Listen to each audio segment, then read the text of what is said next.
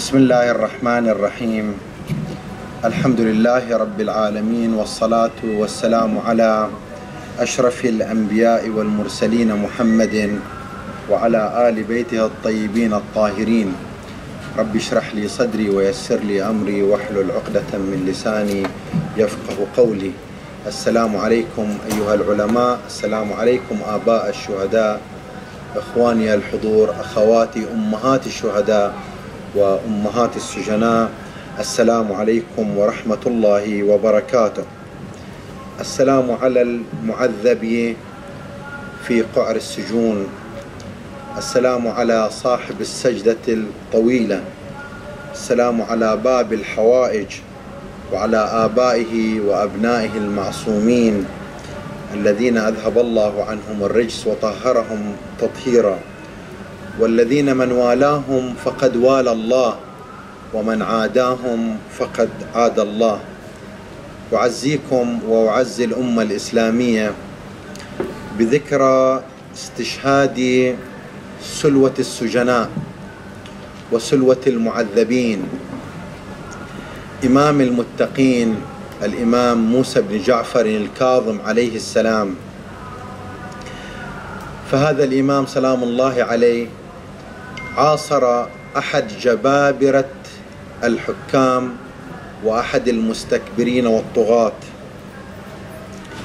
وقد أذاقه سلام الله عليه وقد أذاق الإمام وأصحابه وشيعته صنوف التعذيب وصنوف التنكيل فزجهم في السجون ورهب الجميع وعزل قائدهم وإمامهم عنهم. والطغاة هذا هو ديدنهم. حينما يريدون أن يقضوا على أي ثورة من الثورات يتقصدون المؤثرين يتقصدون القادة والعلماء. فهذا هو ديدن أئمتنا سلام الله عليهم. نعم الأئمة سلام الله عليهم لم ينعموا بحكم ولم ينعموا بالاستيلاء على سلطة ولكنهم كانوا يمارسون دورهم من خلال أذرعهم من خلال شيعتهم من خلال مواليهم. كل ذلك في مواجهة الظلم والاستبداد والاستكبار في ال... وأيضا إرساء حكم الله وإرساء أمر الله على وجه هذه المعمورة. هذا هو ديدن أئمتنا سلام الله عليهم. من الطبيعي جدا أن يمارس هؤلاء الظلمة هذا الدور حفاظا على ملكهم حفاظا على سلطتهم حفاظا على غطرستهم حفاظا على فسادهم الذين الذي يفسدونه في هذه الأرض اشباعا لرغباتهم إلى شهواتهم. وكما تعلمون هارون الرشيد ماذا كان يملك من الغواني ومن الجاريات من الجواري؟ وماذا كان يملك من من الغنائم؟ وكان يخاطب ال ال ال ال الغيوم ويخاطبها بأنه أينما تمطري يأتيني خراجك. هذا هو الهدف الذي يصبو إليه الحكام أن يستأثروا بمقدرات الأمة أن يستأثروا بالسلطة أن يفسدوا في الأرض. ولكن يسخر الله في كل أمة في كل جيل أئمة ومصلحين وعلماء يريدون أن يثبتوا حكم الله في وجه هذا الأرض. فالظلمة تارة يستخدمون السجن لإبعاد العلماء والقادة عن قواعدهم وتارة يريدون أن يرهبوا الناس من أجل التوقف عن الثورة وعن مواجهة الظلم. هذا هو ال ال ال الهدف الذي يسعى إليه هؤلاء الظلمه وهذا ما تم تطبيقه فعلا منذ انطلاق ثورتنا المباركة ثورة 14 فبراير ماذا فعل النظام؟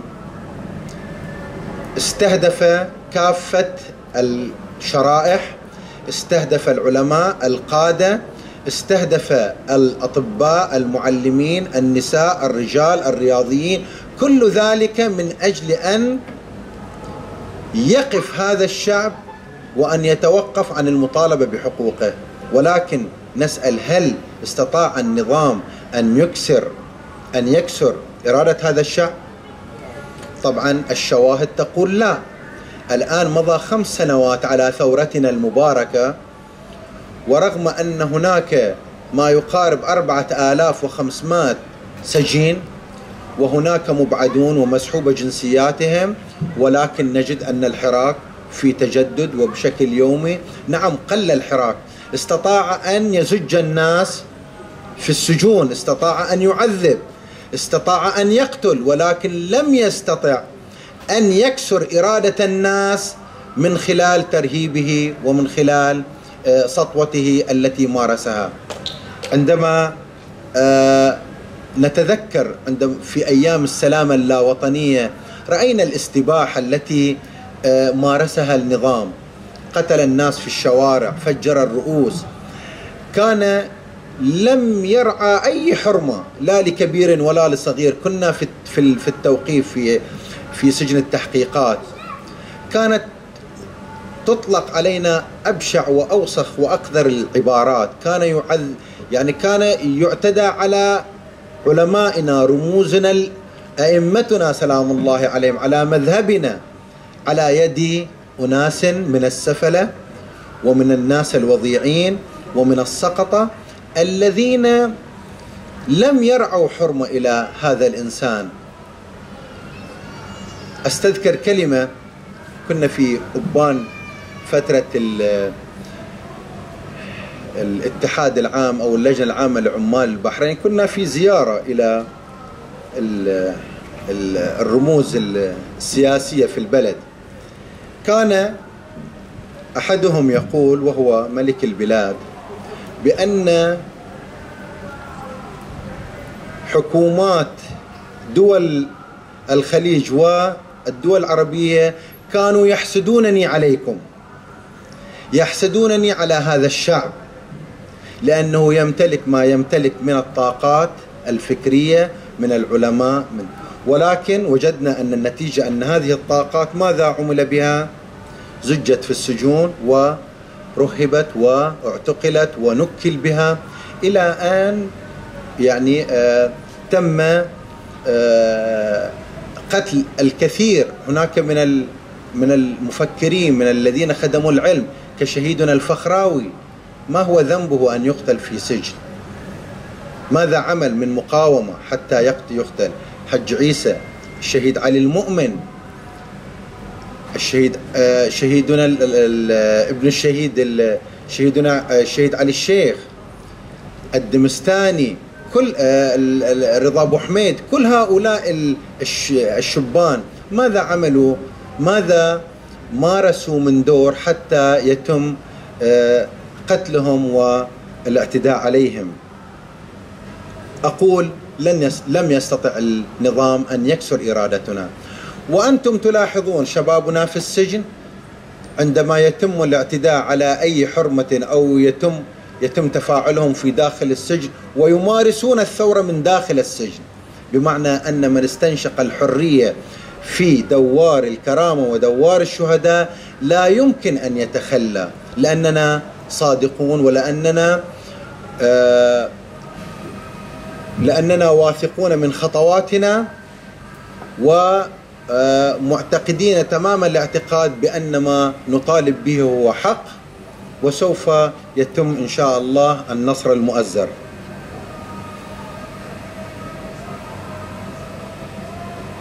ولذلك نجد أن كل الثورات في الدول العربية في مصر في تونس في بقية البلدان كلها انخمدت ولكن بقيت ثورتنا لأنها صادقة لأنها ذات مبدأ. وهذا المبدأ شارك فيه عوائل السجناء عوائل الشهداء رموزنا العلمائية. وتحية إلى شيخ المجاهدين شيخنا الذي لم يتوانى عن التواجد في أي فعالية وهو كبير السن سماحة شيخنا الجليل الشيخ علي الجد حفصي حفظه الله وكثر من أمثاله وهو قدوة المجاهدين وهو أيضا من الذين يبعثون الأمل في داخل آه، نفوس الشباب. شيخنا الحواج وهو يعطينا هذه الدروس وهذا الوعي. علماؤنا يمتلكون من الوعي ولو قدر لهم أو مكنوا في هذا البلد لاستطاعوا أن يجعلوا هذا البلد أن أن يصقلوها وأن وأن يعطوها من أفكارهم ويطوروا هذا البلد ويطوروا كل آه، مناحي هذا البلد من آه، من آه، يعني إجراءات ومن تعامل مع المواطنين وما يخدم قضية قضيتنا.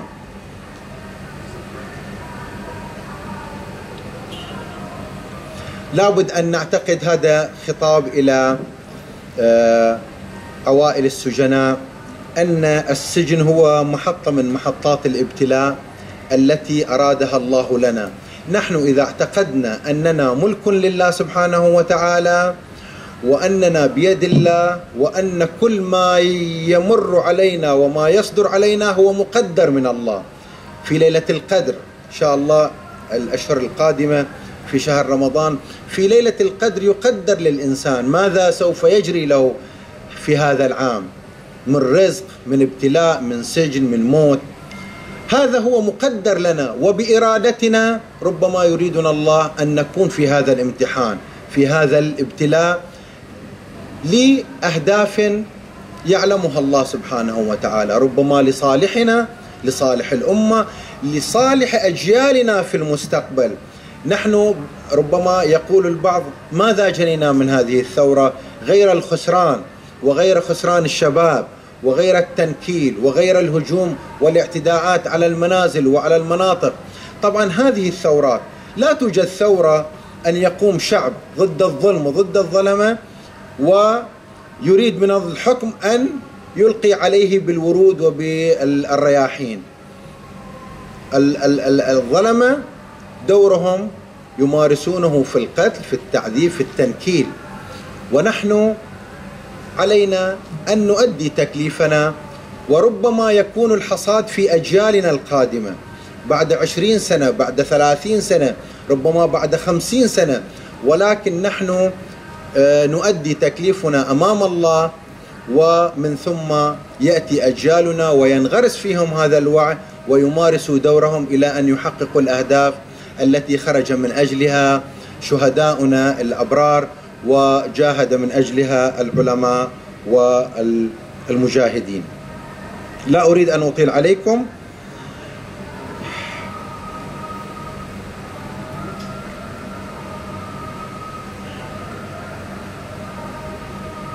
طبعا إذا اعتقدنا بذلك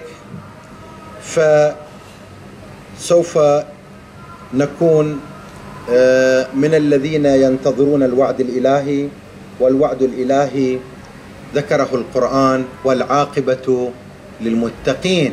وبشر الصابرين. ومن يتق الله يجعل له هذه قواعد قرآنية. ليست ليس منظر ليس عالم قال هذا هو الله سبحانه وتعالى. فنحن إذا اعتقدنا بكل ذلك فسوف يكون لنا النصر المؤزر. و اخر دعوانا أن الحمد لله رب العالمين وتحية إلى كل من حضر في هذه الفعالية وتحية إلى عوائل الشهداء وإلى عوائل السجناء. اللهم بحق معذب السجون والمعذب في قعر السجون وصاحب السجدة الطويلة. وبحق مولانا صاحب العصر والزمان فرج عنا وعن أبناء أمتنا وعن سجنائنا وعن المغتربين وعن المعذبين والجرحى وأن يرحم شهداءنا وموتانا وأن يحفظكم جميعا من شرور الأشرار وأن يوفقنا إلى ذلك اليوم ونشهد النصر المؤزر والحمد لله رب العالمين وصلى الله على سيدنا ونبينا محمد وآله الطاهرين.